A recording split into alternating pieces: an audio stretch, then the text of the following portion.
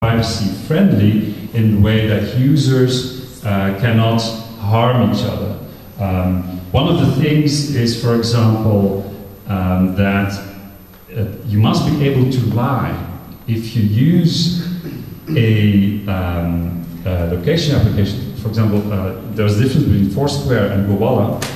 In Gowalla, you cannot lie. You cannot say that I'm checking in in this location that is somewhere else. In Foursquare, I can say, I can look up a location, and can say, I'm actually here. Um, so, um, uh, Gowalla gives you less uh, freedom as a user than, than uh, Foursquare does. Um, if you want to protect yourself, you need to be able to lie because if you don't. But you don't check in if you don't want to protect Exactly, but, but, exactly, but um, if you have built uh, the habit of checking in uh, regularly, then people might ask questions if you don't check in, and not updating your your location might become a statement in itself. Okay, so that's one thing she said. Okay, another uh, part is um, maybe important that the fact that information is public, there are, I mean, developers have an, an idea about uh, something being public, public as a, as a a, a binary switch as one or zero.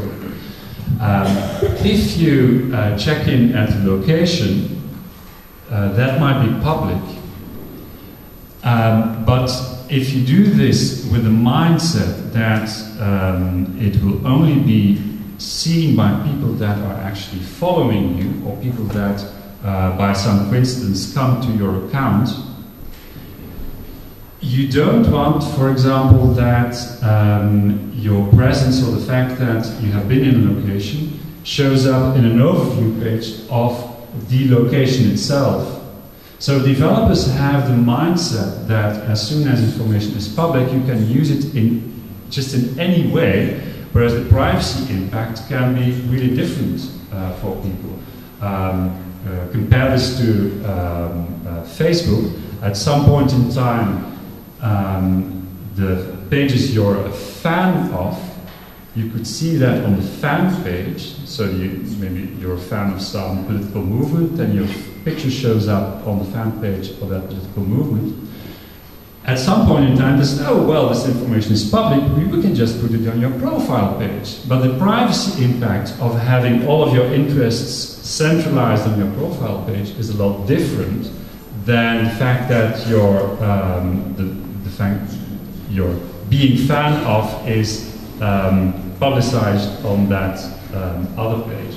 So you can think of a lot of uh, stuff here as well that um, the act of publishing your location, you have to see this in a context, and as a developer, you have to develop uh, metaphors to make that clear to your users that this information will be used in some way or another. For example, what you see in in uh, they have this metaphor of dropping something.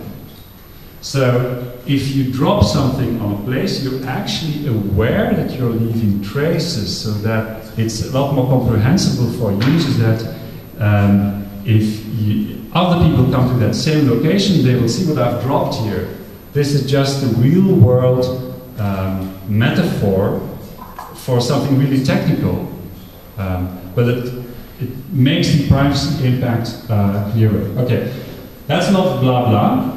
Um, what I would like to have discussion about is the last uh, point, and there's a component of um, mobile apps that I haven't uh, discussed.